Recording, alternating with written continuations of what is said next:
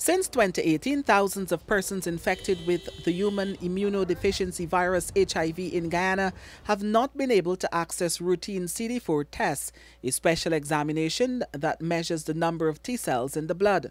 Authorities say it is only available for new positive cases of the virus.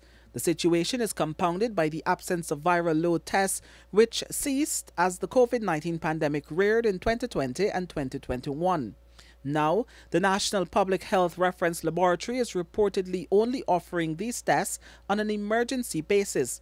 The test is important because it gives HIV positive persons an idea of how much of the virus is in their body, an important mechanism to gauge viral suppression.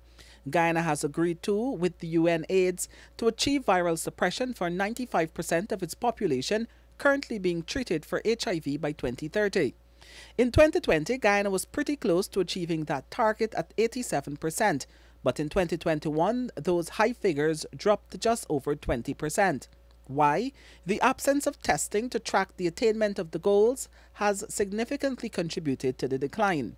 When asked about this particular challenge in the public health system, Subject Minister Dr. Frank Anthony said the government intends to purchase a new machine this year in hopes of addressing the situation and providing greater comfort to the country's growing HIV positive population that has become unsettled over the absence of this very important test.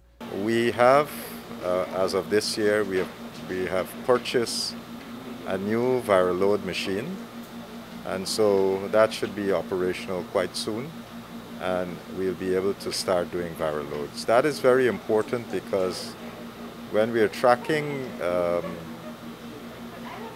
the management of patients and to know whether or not the treatment that we have been giving them, if it's really working, one way of measuring how it's working is to see that there's a reduce in the viral load of that patient. Dr. Anthony, along with head of the National AIDS Program Secretariat NAPS, Dr. Tariq Jagnarine, told the newsroom that their comfort is in the quality of treatment being offered locally, while also agreeing that the tests are important to track progress individually and nationally.